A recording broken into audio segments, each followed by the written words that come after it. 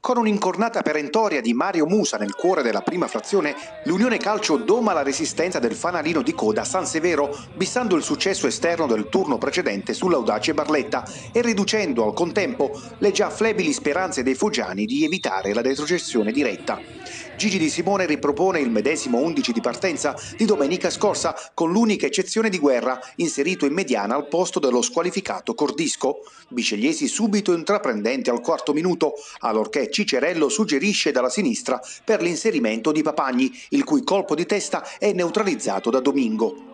Al diciannovesimo, il traversone sempre dall'auto mancino di Losacco trova il puntuale avvitamento in area di Musa, con l'estremo ospite costretto a distendersi sulla sinistra per evitare la capitolazione. Il vantaggio dell'Unione Calcio è tuttavia rimandato di appena tre minuti. Compierchio si produce in un'ubriacante iniziativa sulla destra e quindi apparecchia in mezzo per la corrente Musa, la cui elevazione non lascia scampo stavolta a Domingo e gli vale il sesto centro in campionato. I padroni di casa pigiano ancora sull'acceleratore dopo la mezz'ora con il destro poderoso di Andriano finito di un soffio a lato. L'unica chance di marca sanseverese nel primo tempo giunge al 36esimo con il diagonale di Conè deviato in angolo dall'attento di Bari. Un minuto più tardi la volée di Papagni, innescato dal solito compierchio, oltrepassa la traversa. Gli azzurri accarezzano da capo il raddoppio al 39esimo. Domingo respinge distinto con i piedi la rasoiata ravvicinata di Compierchio, quindi nel prosieguo dell'azione tocca a Cicerello per ben due volte tentare senza fortuna la via della rete. La ripresa si apre con un San Severo più spavaldo. Dopo pochi secondi Alessandro Morra penetra in area biceriese ed impegna Di Bari con un velenoso rasoterra.